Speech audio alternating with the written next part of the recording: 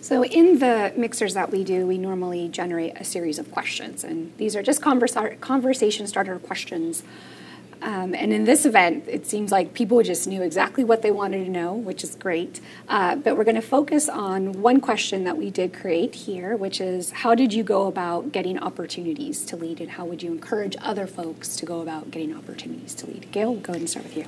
Um, first of all, start with something that you're passionate about something that really gets you excited.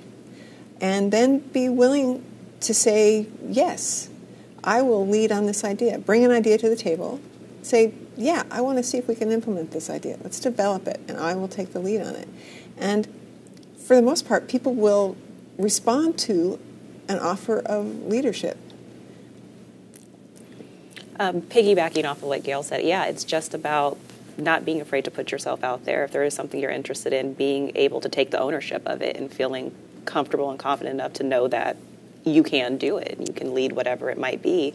And I think one of the things is just trying different things, going to different events or getting involved with different organizations to really figure it out what it is that you do like and trying different roles just to see what you like and before you know it you're doing a lot more and more and more and you're you know you're getting up to the top and that's kind of just how it goes.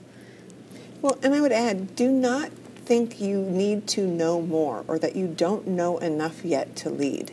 Mm-hmm. Lead from exactly where you are because you know more than you think you do. And some of us just need to be put into that position, right? Mm-hmm. To do that. Well, and we also have to be willing to put ourselves in that position.